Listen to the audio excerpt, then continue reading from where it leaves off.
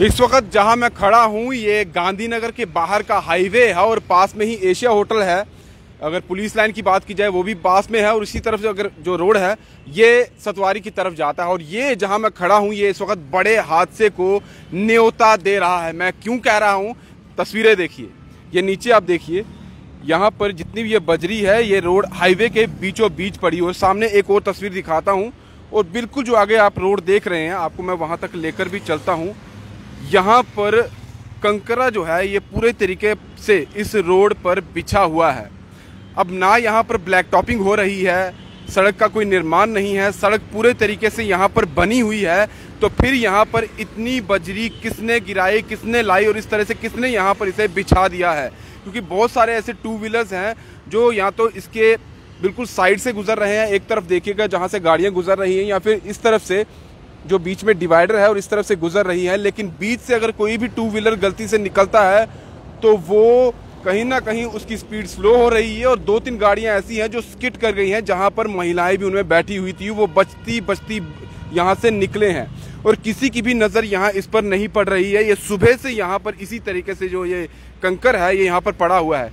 सामने ही traffic booth है, मैंने ट्रैफ़िक विभाग के लोगों से वहाँ से बात की, मैंने कहा, क्या यहाँ पर ब्लैक टॉपिंग का काम चल रहा है, क्या सड़क बन रही है? तो उन्होंने कहा कि दूसरी तरफ़ सड़क बन रही थी, वहाँ पूरा काम हो चुका है, यहाँ पर हमें ऐसा कोई दिखा नहीं है, और ये कब से बजरी पड़ी है, हमें भी नहीं पता है, लेकिन उन्होंने ये कहा कि जेएमसी गाड़ी आती तो ये साफ़ कर देती, क्योंकि वो रोज़ गाड़ियाँ आती हैं, इनसे निकलती हैं, अगर उन्होंने देखा होता तो ये साइड पर कर देते, और अगर ब्लैक टॉपिंग भी कर रहे हैं, पहली बात तो यही है कि मैं आपको नीचे दिखाऊँ, ये देख सकते हैं, सड़क पूरे तरीके से बनी हुई है, यहाँ ज़रूरत नहीं है ब्लैक टॉपिंग की वहाँ भी किसी तरीके से खड्डा नहीं है, कहीं पर भी खड्डा नहीं है।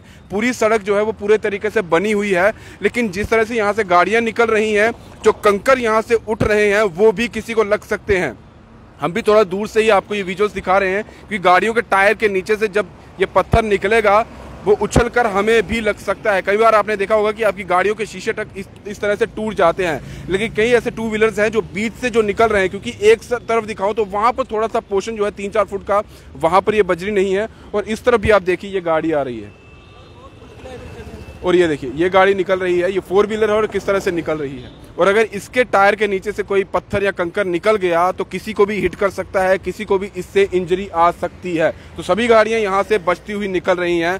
एक बहुत बड़ा हादसा यहाँ पर हो सकता है। जल्द से जल्द यहाँ से ये क्लियर करवाइए। और अगर ये ब्लैक टॉपिंग के लिए रखा गया था, हालाँकि यहाँ पर ज़रूरत नहीं है ब्लैक टॉपिंग के लिए। अगर ये है, क्योंकि ये ट्रैफ़िक विभाग के लोग कह रहे हैं कि ये ब्लैक टॉपिंग के लिए नहीं है शायद यहाँ पर हो चुका है। और अगर नहीं है, किसकी गलती से ये हुआ है?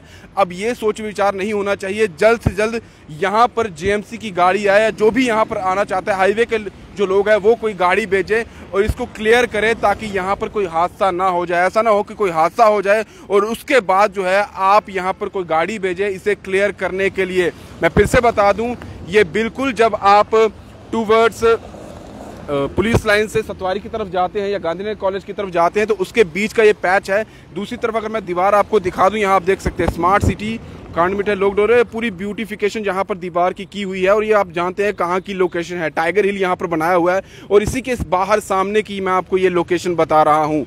जल्द से जल्द कोई भी अधिकारी अगर ये देख रहा है, जिसकी ये रिस्पॉन्सिबिलिटी बनती है कि यहाँ हम किसी गाड़ी को भेजें, इसे पूरा क्लियर करें तो जल्द से जल्द कर दीजिए, क्योंकि कहीं ना कहीं कोई हादसा यहाँ पर हो सकता है इंजरी आ सकती है और ऐसा ना हो, खुदा ना खास्ता, कि कोई बड़ा हादसा यहाँ हो जाए, किसी की जान पर यहाँ पर बन आए, क्योंकि एक तो गाड़ी यहाँ पर स्किट कर सकती है टू व्हीलर की बात की जाए, और अगर बड़ी गाड़ियाँ यहाँ से निकलती है तो उनके टायर के नीचे से कंकर पत्थर निकलकर किसी को भी हिट कर सकता है, जो ज़्यादा बड़ा हादसा हो सकता है।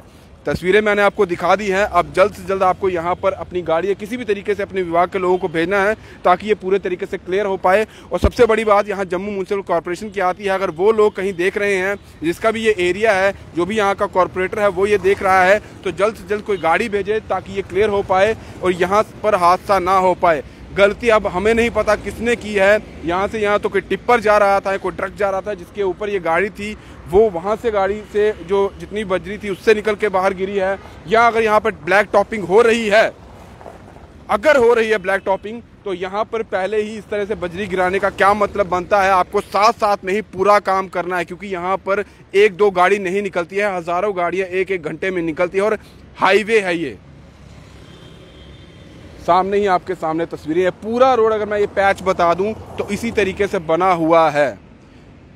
तो प्लीज़ मैंने आपको लोकेशन भी बता दी है। हादसे का इंतज़ार मत करिए, गाड़ी भेजिए और इसे क्लियर करिए, ताकि यहाँ पर जान जाने का खतरा जो है, उसे दूर किया जा सके।